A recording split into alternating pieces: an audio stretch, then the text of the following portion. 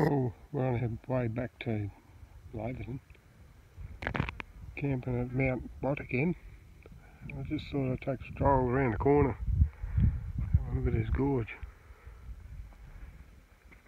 Seen a little bit of water in the creek on the way up.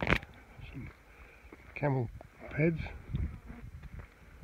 I'll walk up here. There's bigger trees up here, so see what's up here. Yeah, a bit of a willy willy starting over yonder. Just had a nice big cool breeze coming in. Blow these little flies, bush flies away. Now, so. Still want to walk up a bit further and see what we can see up here.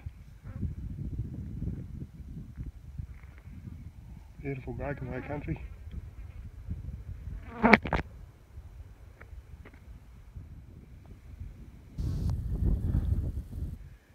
This is all these little ponds along this creek line.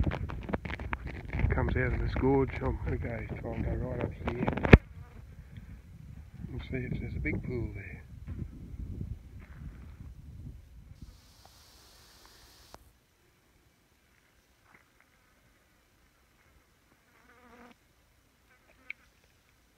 Up here by myself and the flies.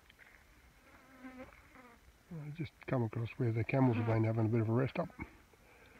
Not the tidiest critters. Scoop out a bit of a hole, lie down for the night. Too lazy to get up and head to the bush for a rest break. So they deposit these little pellets all over the place where they've been sleeping. Probably all spinifex and bush. Mm, There's all sorts of bodies out here.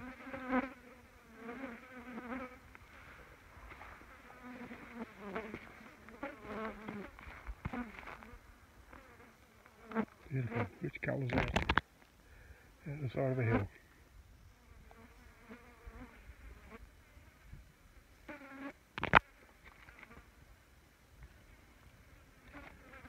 Well, I made it to the end of the gorge.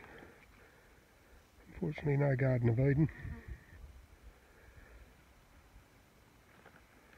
Beautiful sight all the same, worth the walk.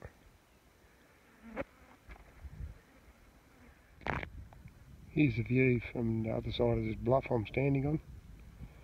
Still no Garden of Eden. Very colourful, all the same.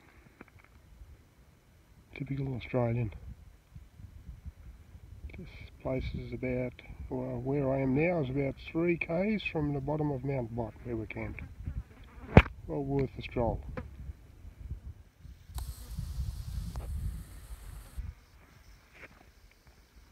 Another uh, dromedary sleeping area here.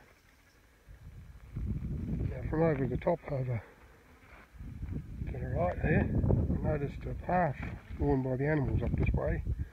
So did a little bit of further investigating. This is where the gorge actually starts. Starts yonder.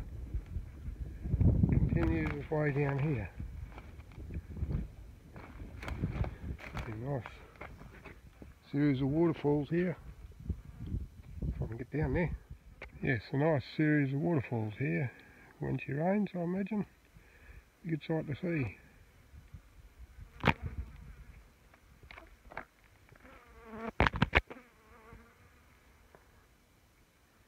That waterfall, or would be waterfall, forms two purposes. There's also a cave underneath it that the maroos like sleeping in by the look of it. In case you're wondering, I made it back to camp safely.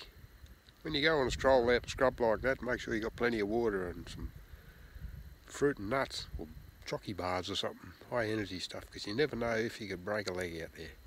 Always carry a personal EPIRB as well. Bye for now.